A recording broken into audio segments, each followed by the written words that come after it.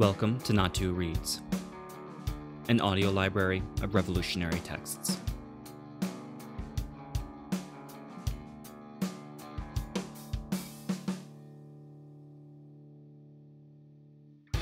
Chile, an attempt at historic compromise. The real story of the Allende years, by Jorge Palacios.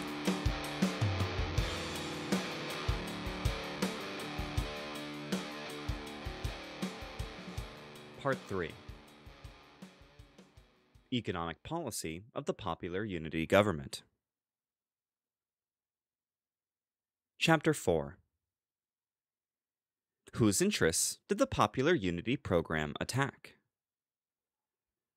The Popular Unity, with its victory in the presidential elections of 1970, only won a small margin of maneuver from the hands of the traditional reactionary ruling circles. It had won a part of the executive power, only a part of it, since many prerogatives of the executive were restricted by the Constitution and the various laws, as well as by the prerogatives of the legislative and judicial powers.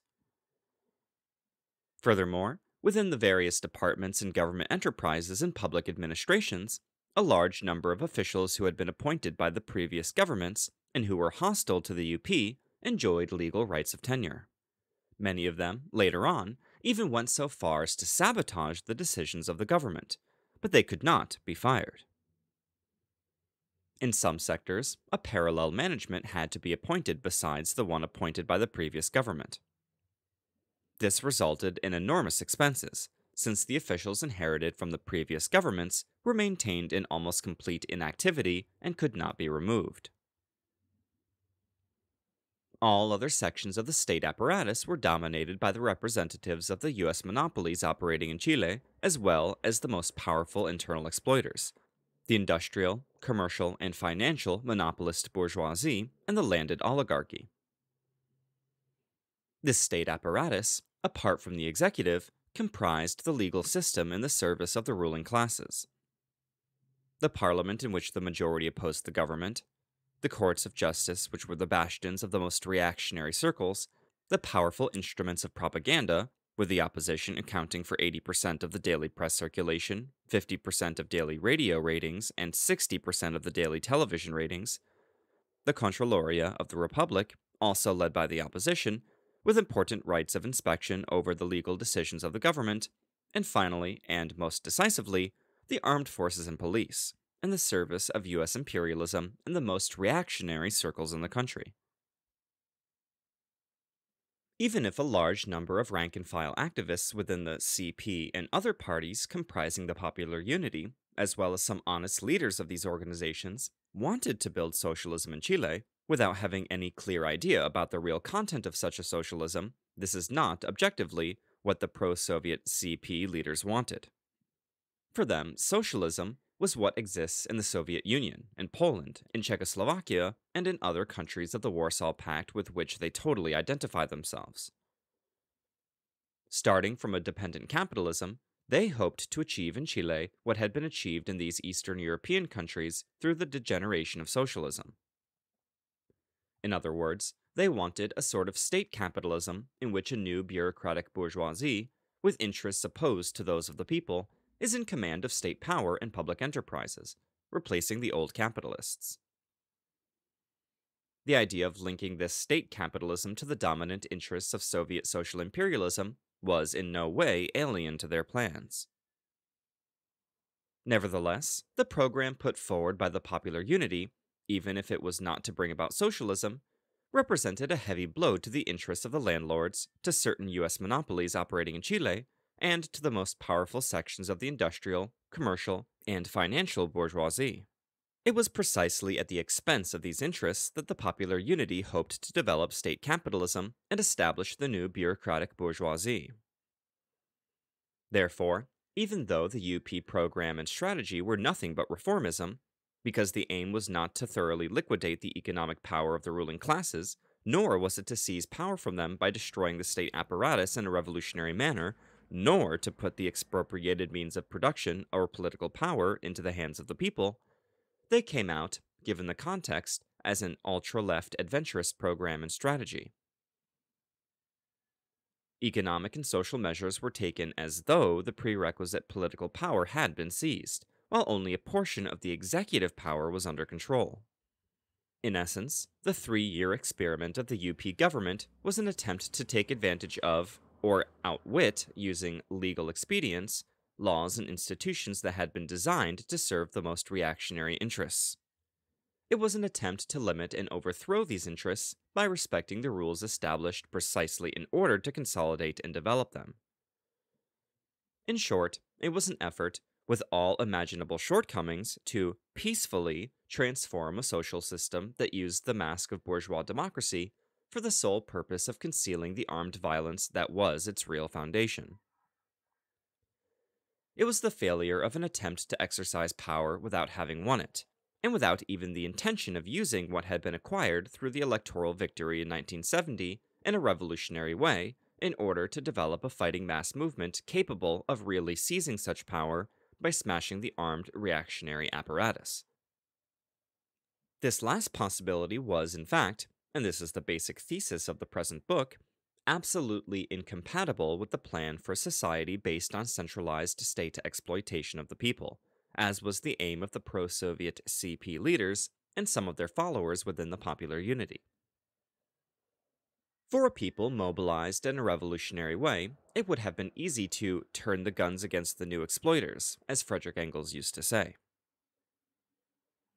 To realize the absurdity of this peaceful road to state capitalism under socialist disguise, and to grasp the origins of this failure, which was absolutely inevitable in the eyes of anyone who had analyzed this experience from a genuine Marxist standpoint, we have to begin these chapters on the analysis of the economic policy of the UP government with a survey of the reactionary interests that were hit or threatened by the program of this government.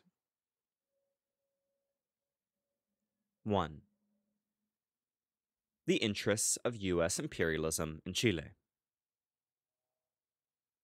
The U.S. imperialist domination of Chile was and is exercised in numerous and highly diversified forms. When the Allende government took over, the U.S. monopolies controlled the main Chilean mining resources copper, saltpeter, and iron. They also controlled certain public utility companies, such as the telephone company owned by ITT. They monopolized a decisive portion of Chile's international trade, buying its raw or semi manufactured products at very low prices, and selling it back manufactured goods at exorbitant prices. They were either owners or major shareholders of a large number of firms in the manufacturing sector, the most profitable ones. Finally, they exploited the whole of industry through financial loans, selling or leasing technology, machinery, raw materials, spare parts, and fuel, etc.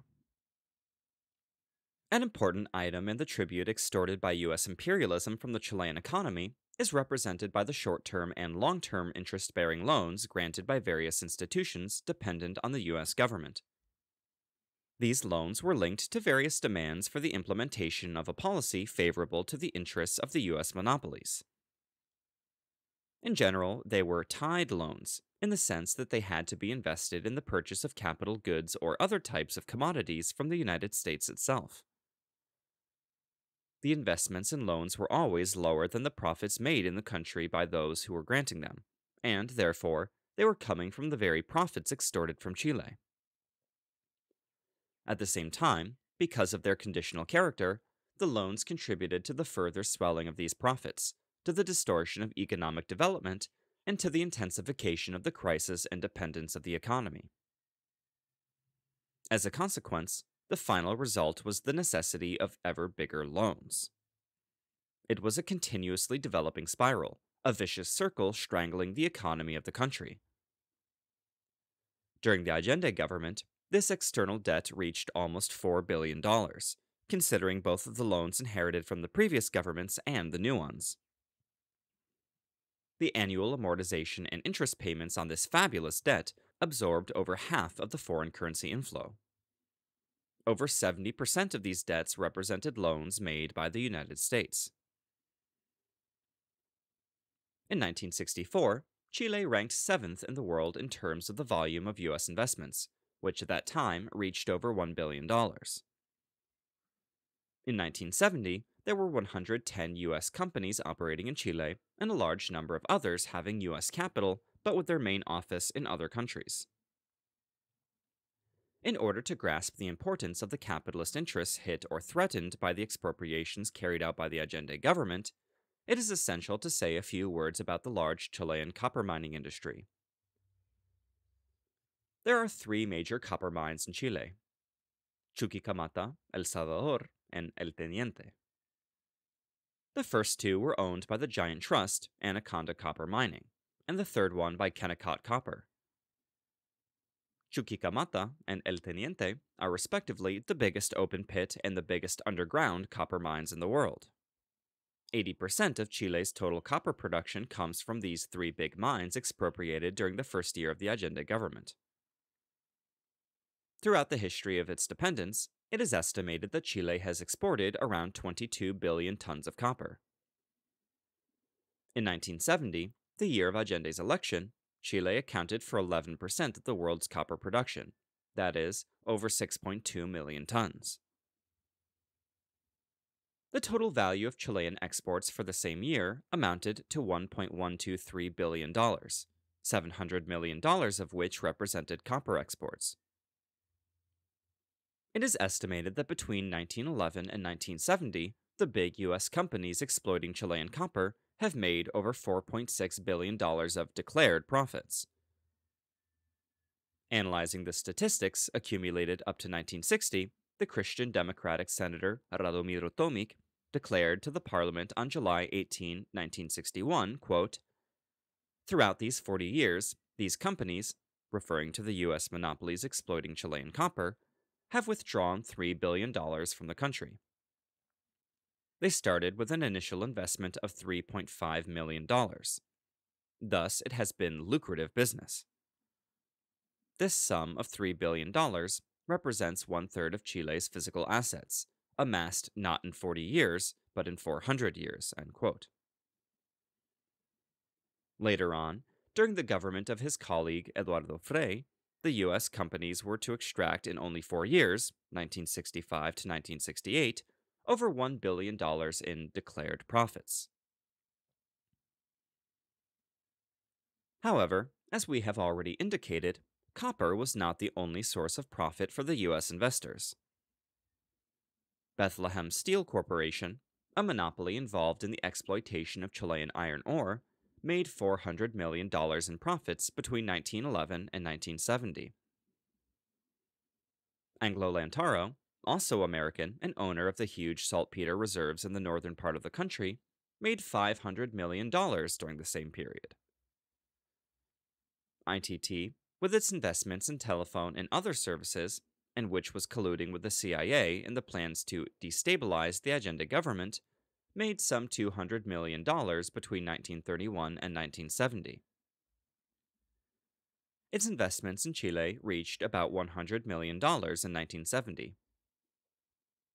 Finally, Chilectra, through which U.S. investors controlled electric energy distribution in Chile, made some $120 million in profits between 1928 and 1969. All these companies, except the last one, were expropriated by the Popular Unity government. We have only mentioned the profits made by the large mining and public utility companies, over which there is relative control. It is extremely difficult to assess the profits made by the US investors in manufacturing industry, in the wholesale trade companies, and in other enterprises. It is clear, however, that Chile represented an important prey for the US monopolies, not only because of the large investments in the country, but also because of the high rate of profit on these investments. In 1968, with a capital outlay of some $1.4 billion, foreign investments in Chile generated a net profit, that is, taking into account the interest paid in the devaluation of capital, of over $320 million, or 23% of the capital invested. President Allende himself speaking to the United Nations in November 1972, denounced the fact that the U.S. corporations alone had reaped a profit of almost $4 billion between 1955 and 1970 in Chile. In addition, as we have already pointed out, right at the time the Alliance for Progress was inaugurated by Kennedy, there were concrete plans for the US monopolies and investors to take over manufacturing industry during the Frei administration. Investments in this sector, even though they were threatened under the Allende government, were not substantially hit. The Rockefeller Report, recommending the replacement of political parties with the army in Latin American countries, had precisely this goal to continue the policy of attempting to take over the most profitable manufacturing industries on the continent. The US aid to these countries is itself inspired by this objective. The Foreign Affairs Committee of the US House of Representatives said on this question, quote, The most important reason for this economic aid is that these developing countries are determined to develop.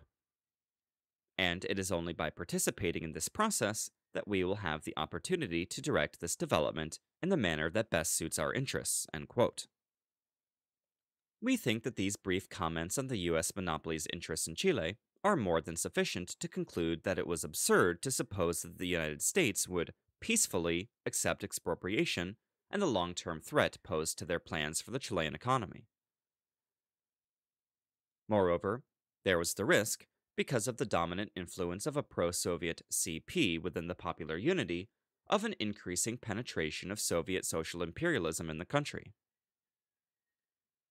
In the past, the US government had interfered to overthrow various governments and embroiled itself in expensive, protracted wars to defend economic, political, and strategic interests of much less importance than those in stake in Chile. Therefore, even if we do not take into account the internal class enemies within the country, and if we just consider the presence of US imperialism in Chile, the plan of peaceful transition to socialism, or what the Soviets and their followers always refer to as socialism, was an absolutely adventurous plan. 2. Landed oligarchy. Another powerful section of the reactionary ruling classes of Chile that the popular unity confronted with its program for reforms was the landed oligarchy. Historically, the power of this class was built through the ownership of huge latifundia expropriated by the landlord's ancestors from the native population of the country. In this way, a monopoly over the best lands of the country was created. The Fourth National Census on Farming, 1965, gives the distribution of land holdings according to their size. Table Structure of land ownership in Chile. Size of holding less than 10 hectares. Number 156,708. 1965 area 437,300. Percent of total number of holdings 61.8. Percent of total area 1.4. Size of holding 10 to 99 hectares. Number 74,120. 1965 area 2,348,200.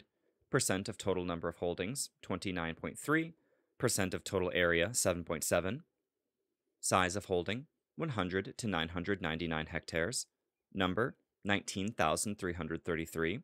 1965 area 5,572,400 percent of total number of holdings 7.6, percent of total area 18.7. Size of holding over 1,000 hectares, number 3,331, 1965 area 22,290,800, percent of total number of holdings 1.3, percent of total area 72.2. Total number 253,492, Total 1965 area 30,648,700. Percent of total number of holdings and percent of total area 100. If we consider as latifundia the holdings of 200 hectares and more, we can see that these landlords, with less than 5% of the number of holdings, own more than 85% of all the agricultural land in the country. On the other hand, 90% of the landlords, more than 200,000, own less than 15% of the agricultural land. To this, we must add 750,000 farm workers owning no land at all and living in severe poverty. Traditionally, the policy of the big landlords has been to cultivate only a small portion of their huge estates, ignoring technical progress and brutally exploiting the agricultural workers. Also, through various means, they reduced the small and middle farmers to poverty. In fact, the Chilean landlords took advantage of their rights over large stretches of the best lands in order to enrich themselves not through production, but by sabotaging agricultural production and cattle raising. Protected by their sacred property rights, they kept most of the land under their monopolistic control out of production. In this manner, a chronic shortage of agricultural products, increasing in relation to the population, was created. Since it is impossible to go without these products, food products in particular, this sabotage resulted, on the one hand, in the obligation to import them at high prices from the international market, and on the other hand, in the necessity to bring into the market products cultivated at a very high cost, on lands of poor quality located far away from the consumer centers. Any increase in the country's population aggravated the agricultural crisis created by the latifundists and necessitated ever increasing imports of farm products, as well as the meeting of the demand for these products with very expensive local goods.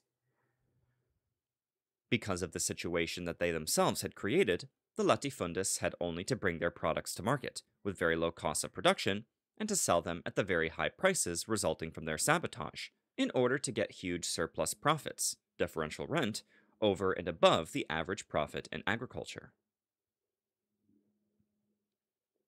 This extremely retrogressive policy, linked until not too long ago with the semi feudal forms of exploitation of large sections of the peasantry, payment in kind, personal allowances, sharecropping, etc., allowed the big landlords to accumulate huge profits with minimal investments. At the same time, because of their dominant role within the state apparatus and its institutions, they obtained important credits on the basis of their agricultural estates, the value of which constantly rose because of the ever increasing prices of farm products. But this never stopped them from refusing any audit of their accounts or allowing their estates to be estimated at their real value for taxation purposes. On the other hand, since their plans were precisely not to make big investments in agricultural production, they channeled their fortunes into speculative and financial operations, or used them for investments in import export enterprises, as well as in lucrative industrial, commercial, or service businesses. In this way, many members of the landed oligarchy became members of the financial, industrial, or commercial monopolist bourgeoisie, or gradually merged their interests with those of these classes. This many faceted economic power of the landed oligarchy is the reason why it was not completely liquidated. As a social class, by the agrarian reform carried out by the Frei and Allende governments, which expropriated almost 6,000 latifundia for a total of almost 5 million hectares of irrigated and non irrigated cultivable land. At the time Allende took office, the big landlords in particular were still extremely powerful. During the UP government, they maintained this powerful position, despite the expropriation of most of their lands. This was the case because the bourgeois state in which they had and still have a tremendous influence was preserved, because the agrarian reform provided high compensation payments for the lands expropriated, as well as the legal obligation to pay cash for their machinery, cattle, seed, buildings, forests, etc. Also, the agrarian reform required that important reserves of the best lands be left to the landlords upon their expropriation. Finally, the landlords remained powerful because of the strong economic influence they had in the banking, industrial, and commercial sectors. Therefore, their political aggressiveness doubled when part of their economic interests were hit by the reforms, which did not completely smash them as a class and which did not seize political power from their hands political power that they controlled, along with US imperialism and the monopolist bourgeoisie, to which, as we have seen, they were closely linked through various interests. To this, we must add the aggravating circumstance that the target hit was their agricultural estates, on the ownership of which they based their aristocratic pride and their sentiment of social superiority over those who were only merchants, bankers, or industrialists. It is no accident, therefore, that the popular unity and its government found in the landlords some of their fiercest and most powerful enemies, even though they had quite naively thought that they had more or less been politically and economically eliminated following two agrarian reforms. The landlords never accepted any compromise and fought ceaselessly until the overthrow of the government.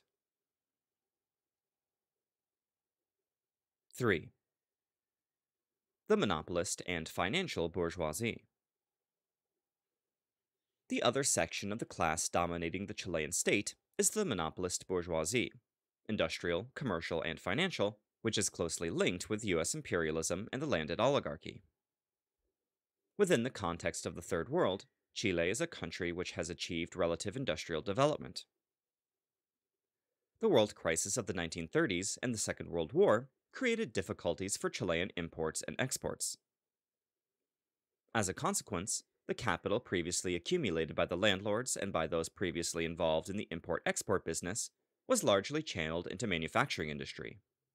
Before the world crisis, Chile was the only possessor of natural saltpeter. This fact, in addition to the ownership of coal, copper, silver, and other minerals, as well as the advantage, until the construction of the Panama Canal, that the Strait of Magellan was the only passage between the Pacific and Atlantic Oceans, resulted in the accumulation of immense fortunes and in the very strong habit of consuming imported goods. Thus, the development of Chilean manufacturing industry was linked to the need for substitutes for previously imported goods once international trade was blocked because of the above mentioned events. Because of the narrowness of the internal market, this manufacturing industry right from the beginning had a highly monopolistic structure. At the beginning of the first year of the Popular Unity government in 1971, the Office of Planning, Odeplan, recorded in its annual plan the following structure of the industrial sector. Table Structure of the industrial sector. Large scale industry, more than 200 workers, 3% of total number of establishments, 44% of the total labor force, 58% of total capital, 51% of total value added.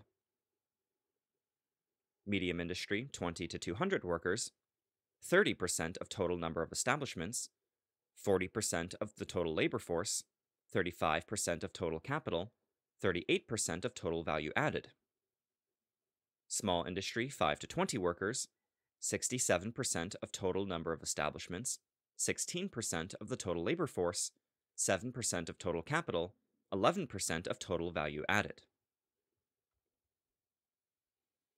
To briefly show how manufacturing industry was highly monopolized when Allende became president of the republic, we can say that 130 industrial firms, representing only 1.2% of the controlled factories, thus called in the census because they hire 5 workers or more, reaped some 35% of the total value added in each industrial sector, accounted for 40% of the fixed capital, and appropriated some 30% of the gross returns. Moreover, the concentration of capital in large scale industry was very high in comparison with other industry. Corfo statistics indicate that until 1970, large scale industry was 180% more capital intensive than small industry and 50% more capital intensive than medium industry. The latter, for its part, was 85% more capital intensive than small industry. Within large scale industry, nine units accounted for 45% of the total capital invested in large scale enterprises, or 25% of the total capital in manufacturing industry. As for fixed capital, machinery, equipment, buildings, and facilities, 86% of it was concentrated in the controlled manufacturing industry, and 14% only in the small craft units, almost twice as numerous. In commerce, 12 wholesale trading enterprises, 0.5% of them, made 44% of the total direct sales in the wholesale business. As far as retail trade is concerned, 54% of the firms affected 74% of the sales. Bank credit was also strongly controlled by the monopolistic sections of industry, land, and trade, since the bank's boards of directors were closely tied to the big corporations. 1968 data indicate that 2.7% of the private bank's debtors obtained 58% of all credits granted, while 0.4% of debtors obtained almost 30%. On the other hand, during the same period, 28% of the borrowers received barely 2.6% of the total loans. The monopolistic sections of industry, land, bank, and trade, closely linked with the interests of the imperialist monopolies, were in full solidarity in their resolute opposition to the Allende government. The links among them result in the entire Chilean economy being exclusively dominated by 12 powerful clans with extensive branches in monopoly industry, banking, and trade, as well as in the latifundia and external trade. Studies carried out by the Popular Unity's Ministry of the Economy stated, quote, in 1966, 17% of the enterprises controlled 75% of all shares in the limited companies. 28 limited companies controlled practically every sector and branch of the economy. Furthermore, among the 160 biggest corporations, 81 included foreign holdings, of which one third represented controlling interests. It is against these 12 clans which controlled and still control the economy and political power of Chile jointly with US imperialism that the main reforms contained in the Popular Unity's program were aimed. In one of its points, this program states, quote, The first step in the economic transformation process is the implementation of a policy aimed at establishing a dominant public sector, including the enterprises presently owned by the state, as well as those which will be expropriated.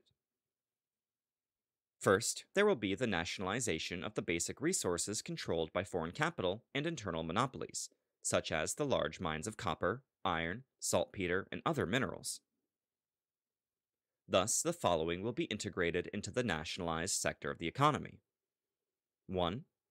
The large scale industries involved in copper, saltpeter, iodine, iron, and coal mining. 2. The financial system of the country, in particular the private banks and the insurance companies. 3. External trade. 4. The large distribution enterprises and monopolies. 5. The strategic industrial monopolies. 6.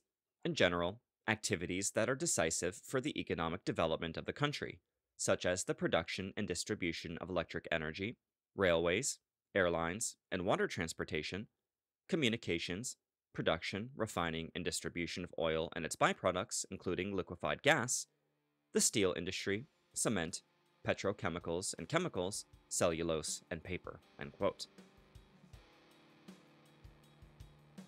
It is clear, then, that the reforms planned by the Popular Unity in order to broaden state capitalism hit the interests of the powerful clans holding power in Chile. Therefore, it was perfectly possible to foresee that they would respond with deep class hatred and would fight by every means possible, legal and illegal, constitutional and subversive, against those threatening their privileges and their very control of power. It was completely illusory to hope that they would commit a peaceful suicide, and to suppose that their respect for their own laws and institutions was greater than their love for their wealth and their traditional control of Chilean politics.